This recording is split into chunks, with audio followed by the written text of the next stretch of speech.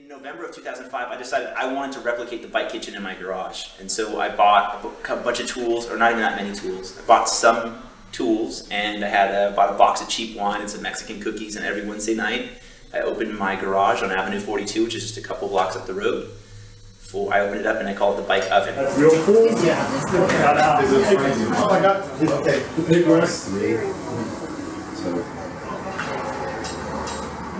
And at the time, I didn't know much of anything about working on bikes, uh, other than how to take the front wheel off and change a flat tire. This is how you do it.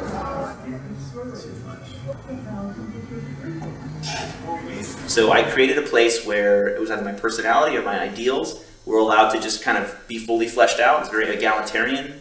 And uh, then it just took off from there because of the, the power of the scene in Los Angeles and the, the strength of the community to give skills away to people like me that didn't really know much of anything. There's a really great community of people that are willing to feed and grow anything you want to do that has to do with bicycling.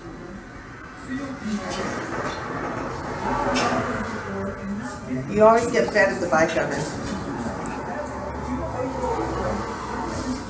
Well, I'm Harv, and I'm one of the uh, oldest members of the bike oven. In fact, other than Joseph, the founder of the bike oven, I've been there the longest. Uh, I've been there since day number one.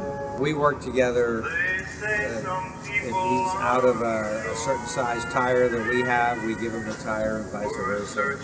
We borrow each other's tools. I just like riding bikes. I've ridden bikes since I was 12 years old in LA. When I was 12, I was pedaling all over LA. Never quite got over it.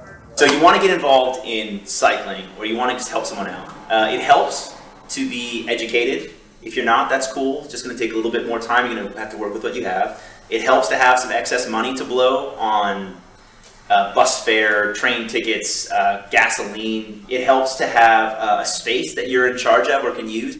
You have to start somewhere. And I mean, I started in my garage, not knowing how to fix bikes, telling people that I was going to help them fix their bikes. Doesn't take much, right? But like I said, a little bit of free time, some resources, some money or capital, and a space you control, and you can pretty much get. everybody. Well, I guess they don't even want five dollar frames, Carv. No, Really? Yeah, we got you got to get rid of the other one. In the yard, and they stole a brand new Huffy because they thought it looked worth more. so you even a Huffy has to look like that for them not to want it. Sucks, fool. If I me a camera.